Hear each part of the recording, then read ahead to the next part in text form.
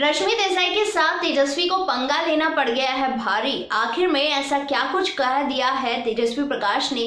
और इस बात पर करण कुद्रा ने भी सपोर्ट नहीं किया है तेजस्वी का। चलिए जान लेते हैं इस वीडियो में। Hello and hi everyone this is Keshavi and welcome to our channel Riya Bigg Boss के घर में जैसे कि आज जो है वीकेंड का वार का शूट होने जा रहा है तो इस दौरान जो है घर वाले काफ़ी अच्छा अच्छा खाना खाते हैं, बाहर से खाना आता है उनके लिए। तो यहाँ पर जो है तेजस्वी और Rashmi Desai you know muffins खा रहे होते हैं और करण कुंद्रा, उमर रियाज भी इस दौरान बैठे हुए रहते हैं। लेकिन अभिजीत दादा जो होते हैं, वो बोलते हैं कि यार मुझे भी खाना है मफिन्स तो तेजस्वी कहती हैं कि कोई बात नहीं, मैं अभिजीत को अपने मफिन्स दे दूँगी ताकि कैमरे के सामने मैं अच्छी बन जाऊँगी और ऑडियंस जो है मुझे वोट्स करेंगी। तो यहाँ पर तेजस्वी जो है वो इस तरीके से बोल जाती हैं भावनाओं में बहकर।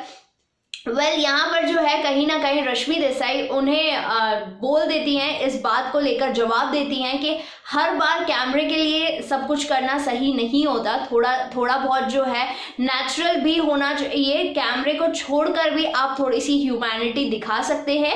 और तू जो है, हर बार कैमरा कैमरा कैमरे के लिए कैमरे को लेकर सारी चीज़ें मत किया कर, जो कि काफ़ी ज़्यादा अजीब हो जाती है और फैंस को सही नहीं लगती है। तो ये सारी चीज़ें जो है रश्मि देसाई बोलती हुई नज़र आई हैं तेजस्वी प्रकाश को, और इस पर तेजस्वी ने कोई रिएक्शन भी नहीं दिया है। वहीं करण कुंद्रा ने भी तेजस्वी को डिफेंस नहीं किया है, क्योंकि कहीं ना कहीं करण कुंद्रा को भी तेजस्वी इस मैटर पर काफ़ी ज़्यादा गलत लगी। वहीं तेजस्वी ने भी इस मैटर पर कुछ भी जवाब जो है वो रश्मि को नहीं दिया, क्योंकि अगर वो देती तो वो काफ़ी ज़्यादा नेगेटिव चले जाती। और जो कि इस पर जाना सही नहीं था तेजा के लिए, बल देखना इंटरेस्टिंग होगा कि और क्या क्या होता है बिग बॉस के घर में और रश्मि देसाई और तेजा की ये जो नोकझोंक है, वो आपको कैसी लगती है? क्योंकि कभी कभार काफ़ी अच्छी फ्रेंडशिप भी शेयर करते हैं, लेकिन कभी कभार एक दूसरे को टॉन्ट भी मारते हुए नज़र आते हैं। बल, आपकी क्या रिएक्शन है? इसको लेकर कॉमेंट सेक्शन में ज़रूर शेयर कीजिए, कितना एक्साइटेड आप वीकेंड के वार के लिए हैं,